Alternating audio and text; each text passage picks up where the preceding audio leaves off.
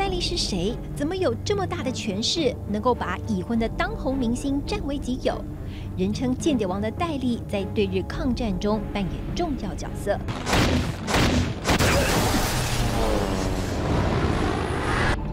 像是一九三七年对日抗战期间，情报曾一度被敌方掌控，让蒋介石非常生气，下令戴笠揪出内贼。上海方面，我们还没有行动，他们竟然知道的是一清二楚。这样下去，非亡国亡种不成。是，校长。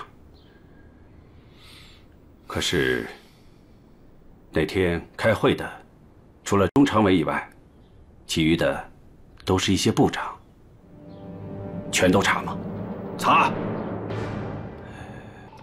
忠心耿耿的戴笠召集了旗下的特工人员，要求布下天罗地网，不论泄密者的层级多高，通通都要揪出来。现代启示录带您看见台湾新思路。观众朋友，大家好，我是刘欣彤，欢迎收看现代启示录。戴笠他是中国的盖世太保，长期从事特工跟间谍工作。戴笠旗下的军统特务将近两万人，势力遍布，无孔不入。但他的私人感情生活却是让人家议论纷纷。曾经跟他传出绯闻的女人不计其数，从旗下的女特务到身边的女秘书，只要是他看上的，就会千方百计弄到手。在戴笠的原配法妻毛秀从过世之后，他就以蒋介石为模范，希望可以挑一个像宋美龄这样的贤内助替自己续弦。但没有想到，他竟然是挑上了有夫之妇蝴蝶。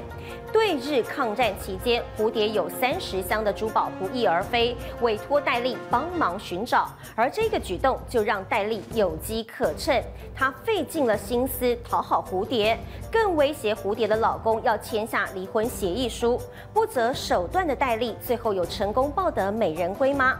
而中国顶尖特务戴笠，还有哪些不为人知的爱情故事呢？请看资深记者艾小培、陈瑶红的深度报道。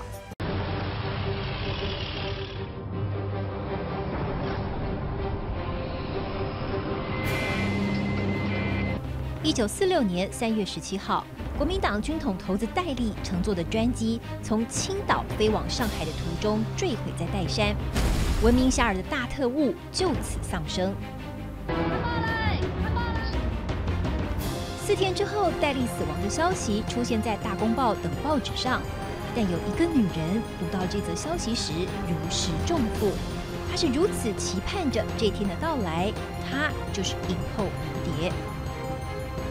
我今天请的都是。我从前中学毕业那时候那班同学，蝴蝶是那个年代的中国电影的皇后，啊，她是中国第一个有声电影的女主角，啊，而且她的非常的漂亮，啊，在年轻的时候年轻貌美，有很多人喜欢她，包括戴笠在内。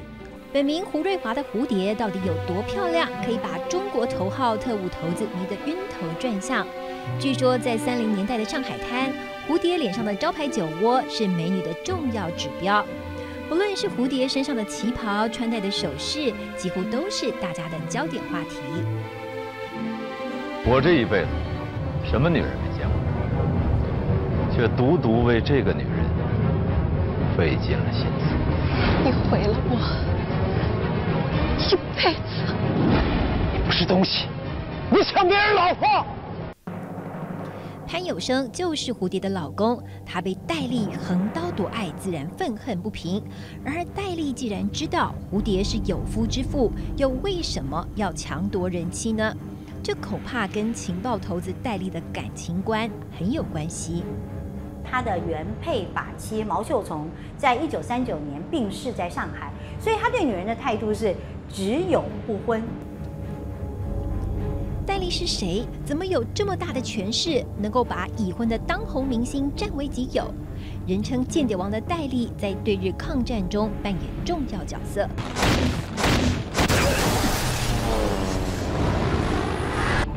像是一九三七年对日抗战期间，情报曾一度被敌方掌控，让蒋介石非常生气，下令戴笠揪出内贼。上海方面，我们还没有行动。他们竟然知道的是一清二楚，这样下去，非亡国亡种不成。是，校长。可是那天开会的，除了中常委以外，其余的都是一些部长，全都查吗？查。忠心耿耿的戴笠召集了旗下的特工人员，要求布下天罗地网，不论泄密者的层级多高，通通都要揪出来。我命令你们，要对名单上这些人员实行二十四小时不间断的监控、跟踪和窃听，乃至一切的侦查手段。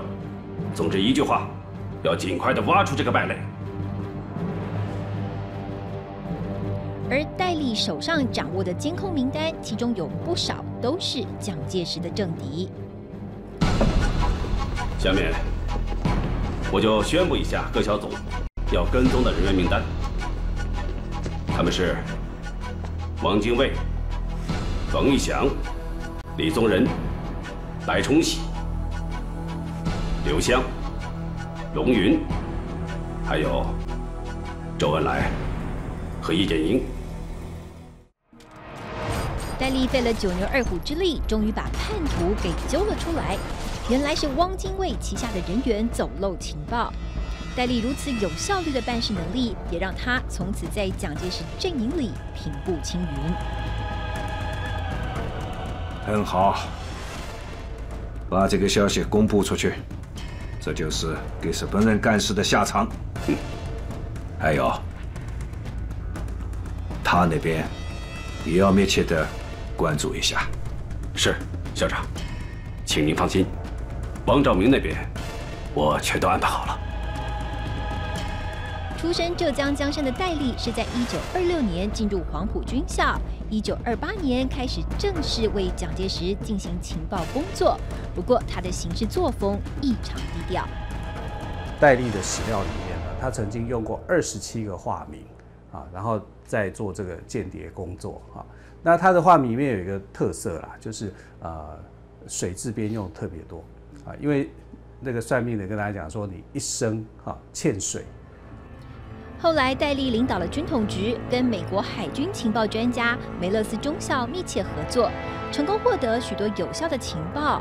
但由于行踪不定、神出鬼没，曾被美国杂志封为中国近代史上最神秘的人物。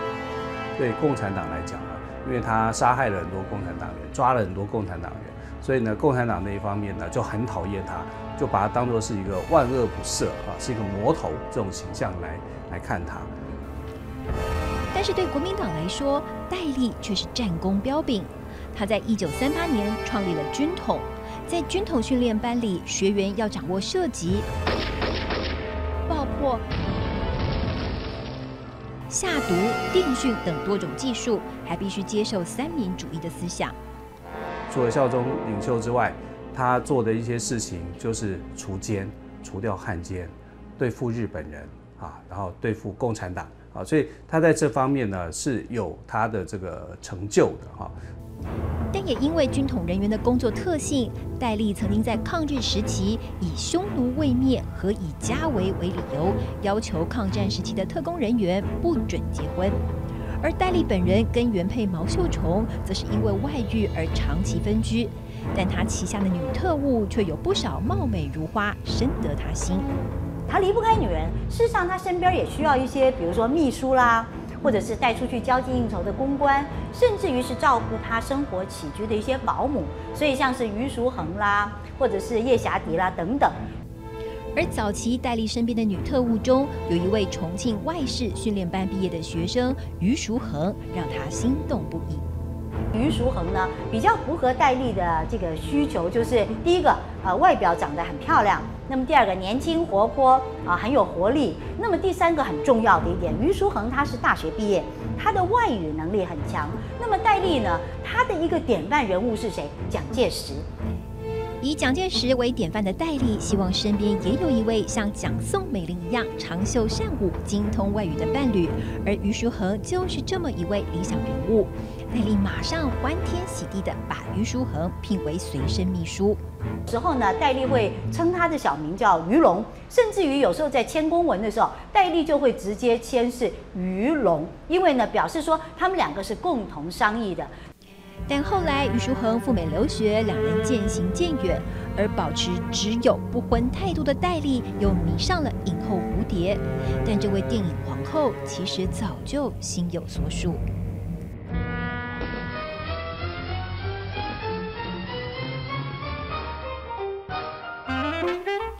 蝴蝶跟先生潘有生的邂逅是在一次私人的家庭舞会。当时的蝴蝶二十三岁，正是一个女人最美好的年华。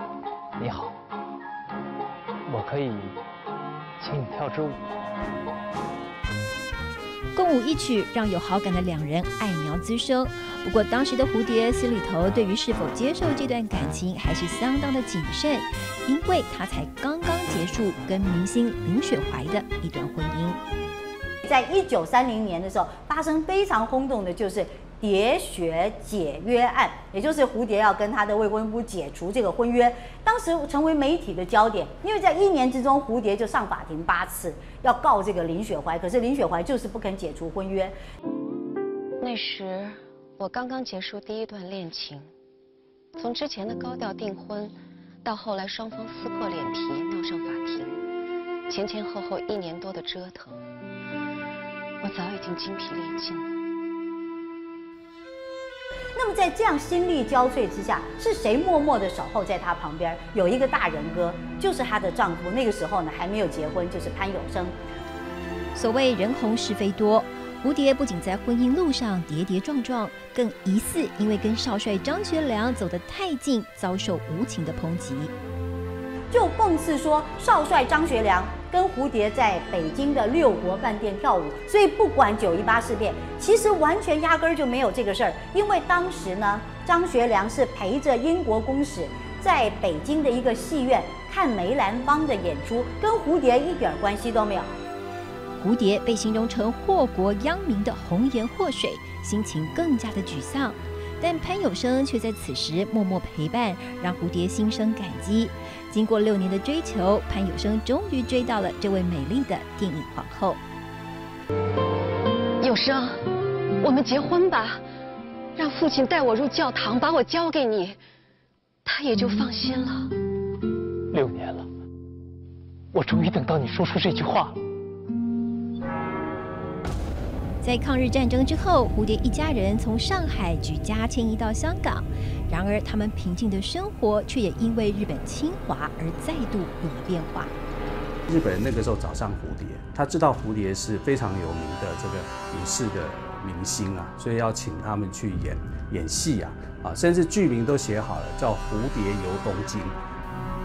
但蝴蝶心想。帮日本人拍戏岂不是卖国的行为？因此他拒绝了日本人的邀约。但日本人不放弃，他们一家人只好无奈地逃往重庆，并把所有的积蓄整理成箱，托朋友转运。没想到这件事却把蝴蝶推到了军统特务头子戴笠的身边。服啊、首饰啊、珠宝啊，就就装箱，装了三十箱，请当时的另一个哈非常有名的人物叫杨惠敏。杨惠敏就是这个四行仓库送来国旗的那一位哈，然后他那个时候就协助了很多的香港人哈，就住在香港的的中国人逃离这个地区。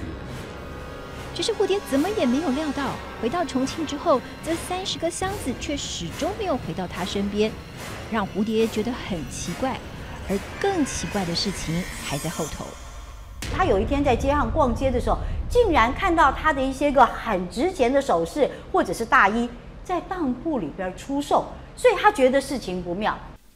惊觉不妙的蝴蝶赶紧写信询问朋友，朋友这才告诉他真相：行李被强盗给抢走了，但所有的家当几乎都在里头啊！这下子该怎么办才好？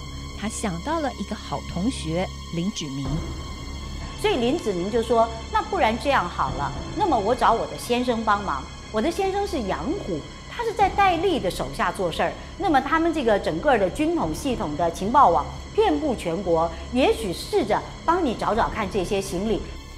林志明愿意伸出援手，其实背后打的如意算盘是希望能帮自己的先生杨虎升官加爵，因为杨虎的长官戴笠迷恋蝴蝶，一直都是个公开的秘密。此时的戴笠指挥着国民党最大特务机构军统，也是蒋介石身边的红人。听到这个请求，二话不说答应了下来，并且支付蝴蝶的一切生活费。胡小姐竟然在重庆？哦，那那既然她在你的府上，那一定要好好的招待，一切开销都由我来支付。戴笠呢就开始一个一个步骤，比如说他首先就要求蝴蝶说：“那你是不是把你的清单写给我？”那么另外戴笠呢也要求说部下先去抓这个杨惠敏，认为杨惠敏当时是负责运送行李嘛，那么是不是应该是问他？所以杨惠敏他是抗日形象大使，哎，他为了这三十箱行李蹲了四年的苦劳。除了积极寻找三十个箱子的下落之外，戴笠还找了名目邀约蝴蝶参加舞会。不是说快到了吗？怎么还没到啊？来人呐，快去打探一下，吴小姐现在到哪儿了？当大名鼎鼎的电影皇后蝴蝶迈着优雅的脚步缓缓进场，立刻吸引了所有人的目光。而眼神最热烈的，当然就是戴笠。一双水亮的眼睛，两个又圆又深的酒窝，真漂亮啊！真比电影里。还要漂亮。接着，戴笠请蝴蝶将遗失的物件一个个详细说明。过没多久，这些遗失的珠宝跟首饰竟然通通回到了蝴蝶的身边。我打开箱子，细细清点，那些东西乍一看还真和我丢的东西一样。不过仔细一瞧，却比我原来的款式更好，价值更高。这可远比我丢的那些东西值钱多。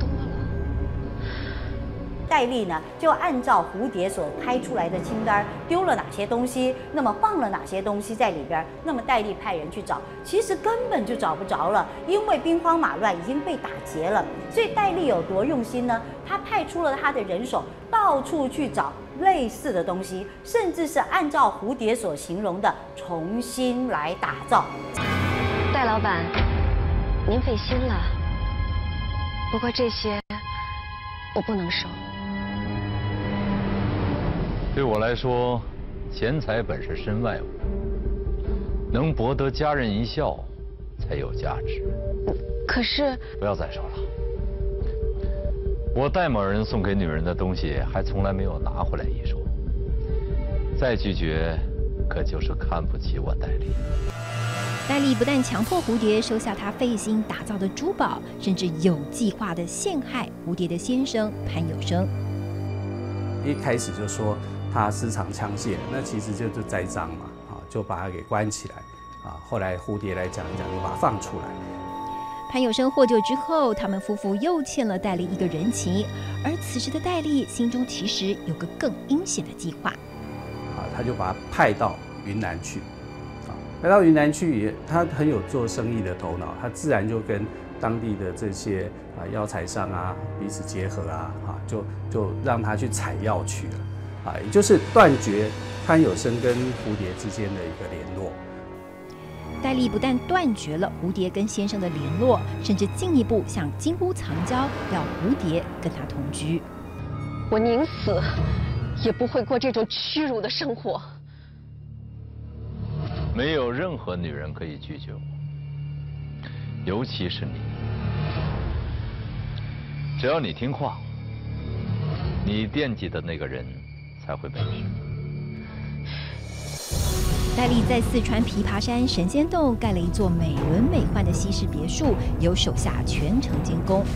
当时派了很多戴笠的手下来盖这个豪宅，因为要赶工，而且呢要盖得非常的舒适。那么花园里呢布置了奇花异草，所以据说还有好几个工人因此受伤。这个完全是戴笠的私人的业务啊，所以这个豪宅呢是极力的讨好蝴蝶。戴笠如此用心，蝴蝶感动在心，却也被迫成了这栋豪宅的女主人。戴笠的这种温柔攻势之下呢，蝴蝶有没有动真情？呃，或许也有一丝一毫吧。不过我们都知道，蝴蝶最钟情的还是她的丈夫潘有生。而远在昆明的潘有生却没有收到蝴蝶的只字片语，他越来越放心不下，忍不住跑回中国，却发现跟蝴蝶的爱巢早已人去楼空。您指定对我说，瑞华早就搬到戴老板那儿去了，还说戴老板对他很照顾，让我放心。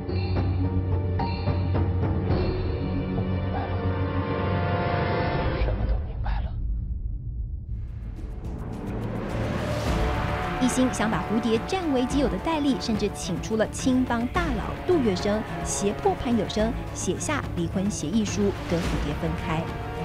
杜月笙当时派他的手下怎么威胁这个潘有生呢？一手拿的就是跟蝴蝶的离婚协议书，另外一手拿的就是毒药。那么也就是说，让潘有生二选一，你是要放手蝴蝶，还是要死路一条？潘有生只能在万般无奈的心情下签了离婚协议书，眼睁睁看着心爱的妻子被人夺走。抗战胜利以后啊，就是他们要各自回去嘛。啊，他到上海去，他还特别跟蝴蝶讲说：“我要迎娶你，正式迎娶你当我的老婆。”只是机关算尽的戴笠怎么也没有想到，一九四六年三月十七号的空难。不但带走了他的性命，更打碎了迎娶蝴蝶的美梦。而潘有生这一对被迫拆散的苦命夫妻，也因此得以重新聚首。戴笠死了，一切也就烟消云散。那么，啊，蝴蝶可以终于回到丈夫潘有生的身边，终于是守得云开见月明。蝴蝶夫妇立刻前往香港定居，潘有生重新创业，创办了新华商业洋行。蝴蝶当起了形象代言人，随后再度进入演艺圈，两人过起了辛苦却甜蜜的生活。只是幸福的日子却总是很短暂。可惜的是，一九五二年，这个潘有生呢就因为肝癌过世了，所以蝴蝶这个时候只有四十四岁。那么因此过了几年，在一九五九年的时候，他重新加盟邵氏，他又出来拍电影。那么因此他来过台湾，但是后来在一九七五年的时候，蝴蝶移民到加拿大的温哥华，并且为了纪念她的丈夫潘有生，她改名叫潘宝娟。蝴蝶最后在一九八九年病逝于温哥华。临终前只留下了一句：“蝴蝶要飞走了”，将一切人世间的恩怨情仇尘封地底。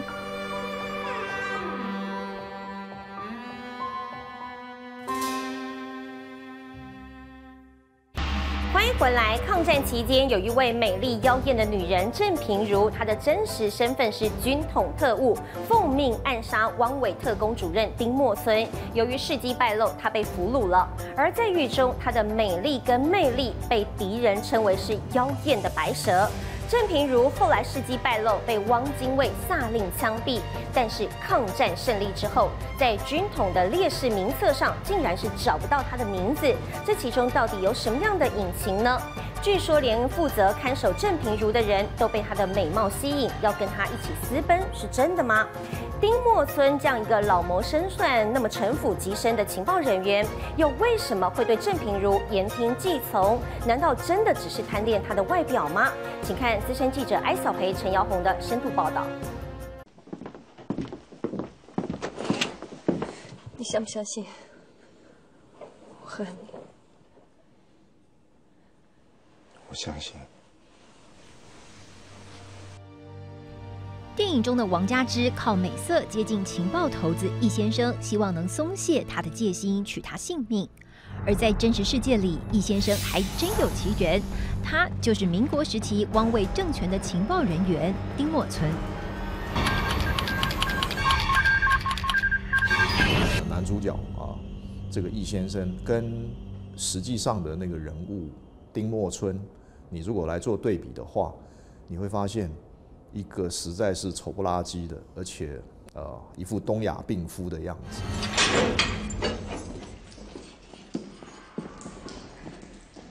我看他差不多了，宪兵队一定会来要人。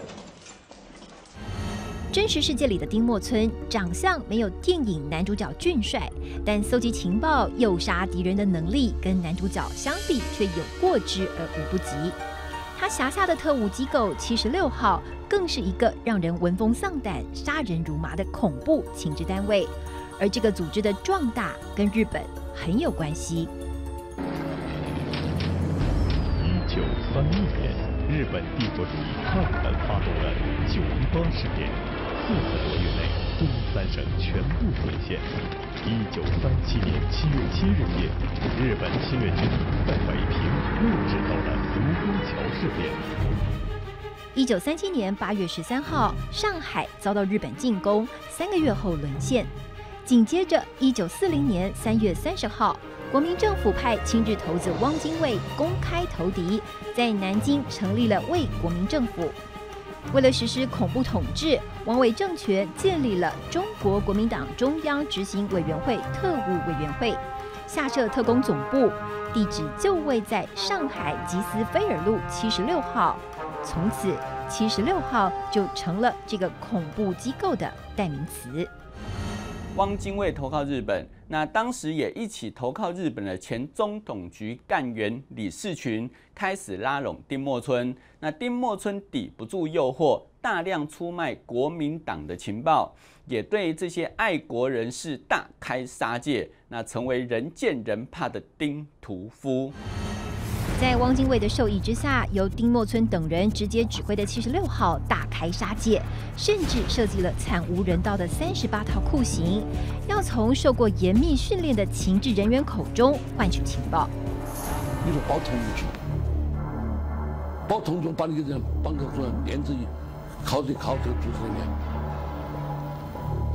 还有一个一一关闸，里面点燃是把这铜柱烧红了，有时。整个皮跟的烫焦啊，烫流油啊，有办板都不能办，这叫铜铸。从一九三九年年底到一九四三年，不到四年的时间，七十六号制造的暗杀、绑架事件就高达三千多件，平均每年一千件。为此，国民政府下令要不惜一切代价除掉丁默村这个杀人不眨眼的魔王，大量的去破坏。中统跟军统，尤其是中统啊，中统是一个非常重要的一个特务机关，在上海还有南京的一些地下组织，整个把它破获？为什么丁默村会对国民政府特工人员大开杀戒？难道他跟国民党之间有什么血海深仇？丁默村呢，其实他应该也是一个失意政客。国民党当当初啊，就是成立这个。调查科的时候，它有三个非常重要的人，一个是戴笠，另外一个是徐恩珍，第三个就是丁默村，三个不同的处啊，有三个处。蒋介石在某一次改组中，把丁默村所管辖的第三组取消了，从权力中心被拉下来，突然失去了政治舞台不说，丁默村甚至被污指贪污，最后只留下军事委员会参议的虚职。让他怀恨在心，只能潜逃到香港，并在此时跟他的老长官李士群接上了线。到了香港去呢，好像又碰到了李士群啊。这个李士群呢，就他说他要去投效这个汪精卫。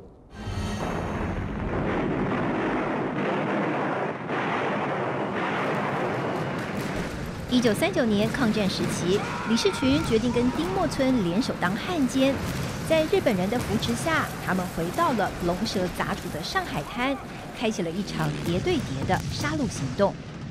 哎，走在最前面那个不是丁默群，那丁默群呢？那手让给我。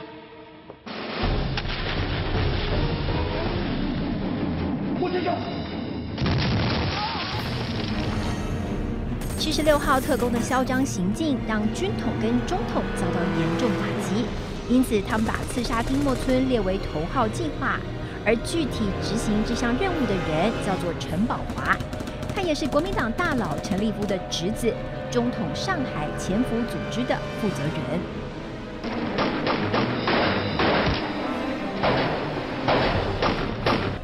陈宝华曾经多次组织暗杀行动，派去的人却反倒被丁默村给杀了。原来丁默村老奸巨猾，警惕性极高，每次出席一般的宴会都会站在墙角，防止有人背后偷袭。他非常喜欢跳舞，但除了日本人举办的舞会，其他一概不参加。难道刺杀丁默村真的是一项不可能的任务吗？他机警冷静，狠毒冷酷。但是呢，唯一的缺点就是好色。就在陈宝华一筹莫展之际，上海良友画报上一名绝色美女吸引了他的目光，她就是郑平如。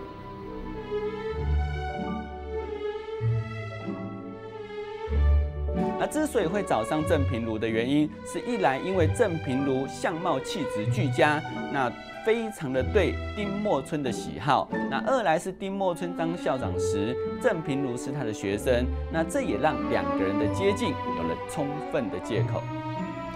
长相气质都一等一的郑平如，家世背景更是大有来头，早在求学期间就展现了爱国的情操。同学们，南京路上。尸横遍野，黄浦江里更是血流成河。日本鬼子和汉奸的血战，单靠我们在街头唱几句九一八是不行的。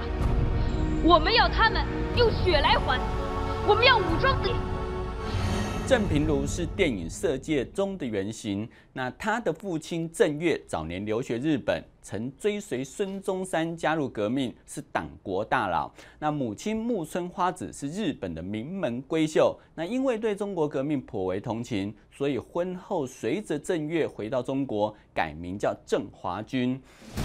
郑平如从小跟着母亲学了一口流利的日语。长大之后，成为上海社交圈的名媛，被中统人员吸收，在十九岁那一年，成了正式的特务人员。而郑平如或许是因为中日混血的关系，那长得是非常的温柔婉约，天生丽质，这也为他日后的情报工作立下了良好的基础。中统局让郑平如去找丁默村，以师生之谊为借口接近丁默村，从而引诱他上钩。你是丁校长？啊，鄙人的确是姓丁，请问你在哪个学校上学？我在光华大学上过学。那就对了，我的确在光华兼过校长，但是不常去，只是挂个名。郑平如佯装成涉世未深的少女，不时恃宠撒娇，跟丁默村时断时续，若即若离，这也就逗得丁默村是心痒难耐。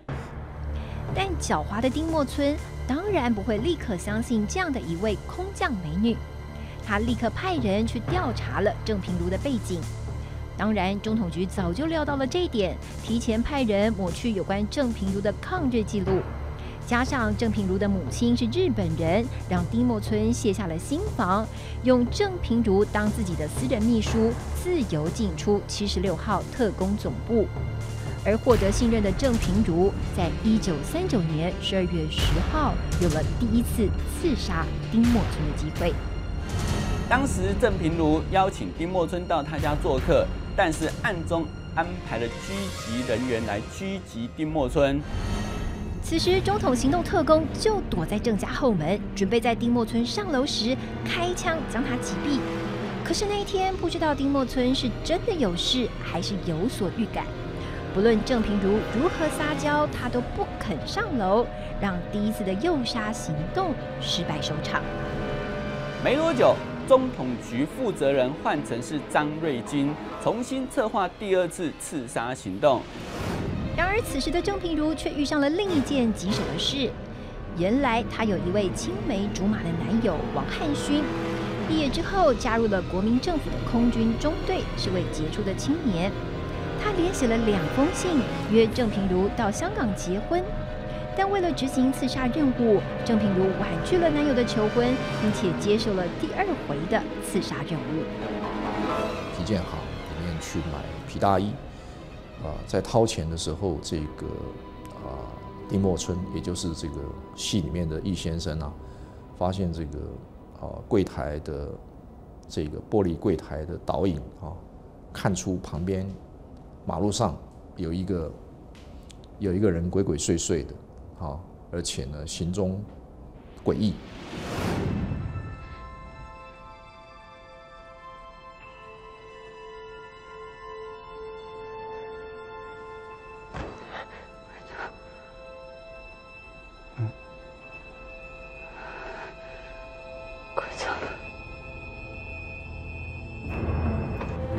间察觉不对劲，所以从大衣摸出一叠钞票，往玻璃柜台上一放，啊，就对郑品如讲说：“你自己挑吧，我先走了。”说完就快速转身向外跑。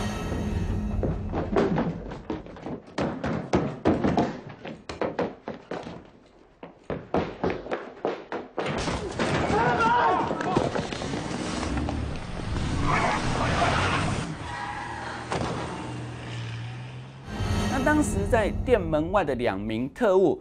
完全没有想到丁默春会不等挑完大衣就冲出店外，因此不小心让他冲过了马路。这个时候要拿枪来开枪射击丁默春时，丁默春已经钻进车子里头了，所以所有的子弹都打到防弹车门上，那丁默春毫发无伤。但这次的失败却意味着郑平如中统特工的身份已经完全暴露了。他辛辛苦苦策划的美人计再也起不了任何作用，但他自己却没有意识到这一点。丁默村早已发现郑平如不简单，所以布下天罗地网，只等他上钩。皮货店事件之后三天，汪卫总部行动大队长林之江率领二十多名爪牙直扑沪西舞厅。逮捕了郑平如，随后他就被关进了七十六号特工总部。无论丁默村如何逼供，郑平如始终不承认自己跟中统局有关，而是一口咬定自己是为情所困而雇凶杀人。刺丁案失败之后不到一个星期，汪精卫在一九三九年十二月三十号跟日本政府签订了汪日密约，郑平如的任务彻底失败。而且汪精卫得知丁默村被郑平如色诱之事，非常愤怒，决定非杀郑平如不可。一九四零年二月，汪精卫政权下达秘密执行枪决的命令，于是，在一个星月无光的晚上，由林之江担任行刑官，押着他到中山路附近的荒郊野地执行。押解他上车的时候，还骗他说是前往南京，到了南京就可开市。当执行任务的林志江把车子开到了中山路，就要郑平如下车时，他知道自己的死期不远了。于是他下了车，深深叹了一口气，说：“哈，你不要枪击我的脸来毁我的容貌。”那林之江呢，答应了，但是也因此大动恻隐之心，不忍心自己亲自下手，所以他背过脸要卫兵执行枪决。三声枪响过后，这个貌美如花的爱国女子就因此香消玉殒。二十三岁就香消玉殒的郑平如，一位色诱失败而牺牲的中统特工，她的故事直到多年之后才被列入了调查局的出版文物，获得平反。历年的殉职人员，殉职人员的一个传略，就是传记。那这个殉职人员传略里面就有一篇写到这个郑平他的去世的经过，但这去世的经过跟这个电影其实有些是若有似无。一九四四年十一月十号，汪精卫病逝日本，汪伪政府倒台，丁默村再度投靠重庆国民政府，杀人无数的情报特务，最后在一九四七年七月五号以汉奸罪名被处死。也让牺牲花样年华为国捐躯的郑平如得以含笑九泉。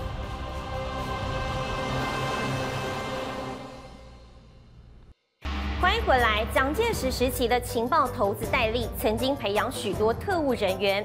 日军偷袭美国珍珠港事件的前几天，戴笠手下的一名女情报员已经破译了这一份日军电报，她叫做江义英，后来被破格升为中华民国第一位女少将。据说江一英早在学生时期就被戴笠相中，因为认为他兼具了男性跟女性的双重特质，再加上他天资聪颖，特别适合从事谍报工作，而他也真的在情报圈当中立下了显赫战功。但是，一九四九年之后，蒋介石退守台湾，两岸情势巨变，江一英发现先生从事的工作有可能泄露国家机密，竟然是大义灭亲。这其中到底有什么不为人知的隐情？呢？而江夜英还有一位名模孙女倪雅伦，她眼中的奶奶又是位什么样的人？请看资深记者艾小培、陈瑶红的深度报道。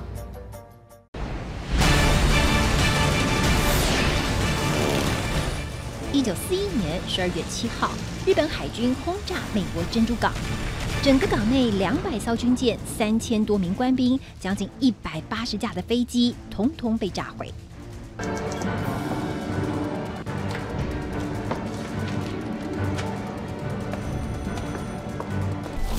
不过，早在珍珠港事件发生的两三天，国民党的军统局就已经拦截了日本的电报，察觉了不寻常的讯息，破译日本的某些电报啊，日本大本营哈要求全世界各地的驻外单位，日本的驻外单位所有的密电码必须烧毁。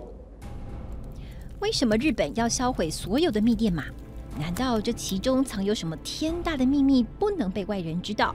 更奇怪的是，其他军事单位也发现了日军在东北不寻常的行径。最近的状况不大正常。日军大本营在东北，集结了七十万大军，可是最近几个月，却并没有动静，太不正常了。这个事情非常奇怪，因为九一八事变。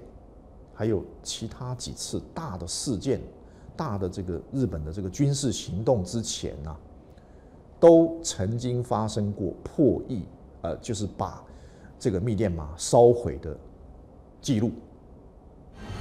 母亲他们就觉得怪异，怪异，因为他是一个负责整个情报网的一个，你要做一个最后面的，你要一个综合的判断。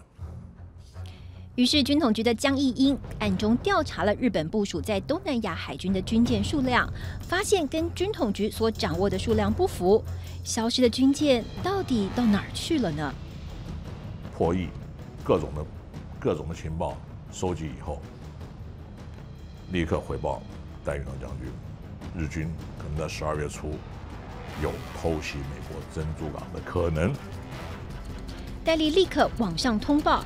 蒋介石知情如获至宝，随即批示赶紧通知美国，没想到美方却置之不理。Paul, what do you think about this telegram?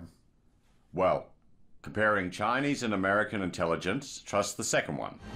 当这个消息一路转到美国五角大厦海军司令部时，这些海军司令部的高层却一笑置之。其中一位海军官员还说：“这是中国故意挑拨美日关系的伎俩吧？”忽视重要情报的美军最后被日本偷袭，也由于日本这次不宣而战的行动，让美国愤怒不已，进而对日本开战。而早在事件发生之前，就掌握日本海军打算南进开战的，就是军统局译电科的科长江义英。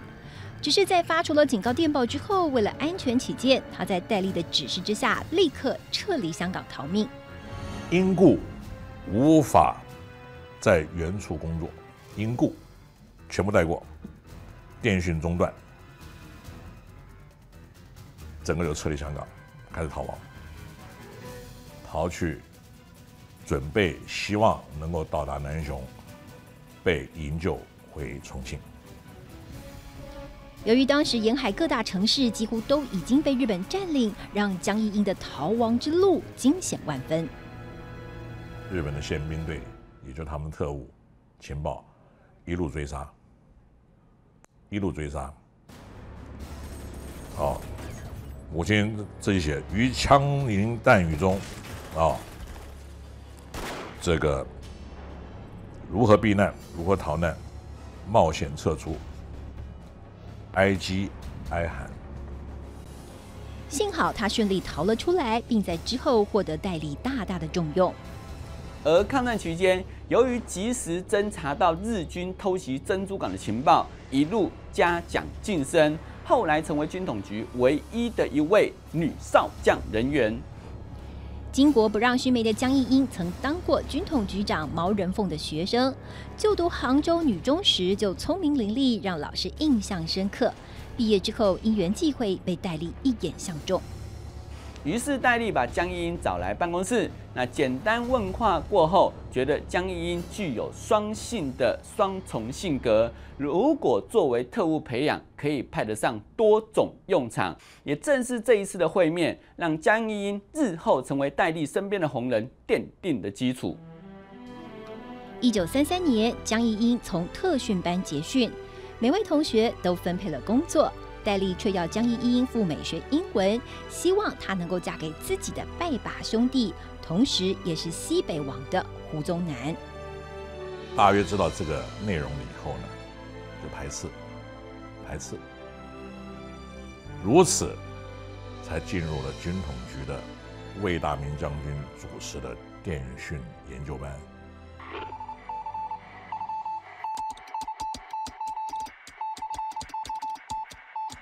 他是一个非常细心的人，啊，心细如发的人，所以他能够破译密电码，也是因为这样子，所以他非常得到这个戴笠的欣赏。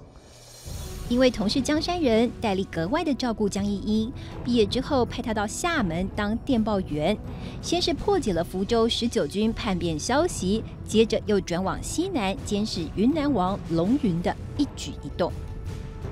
一九三七年十一月十七日，中日战局日益吃紧，国府主席林森率领大小官员撤离南京。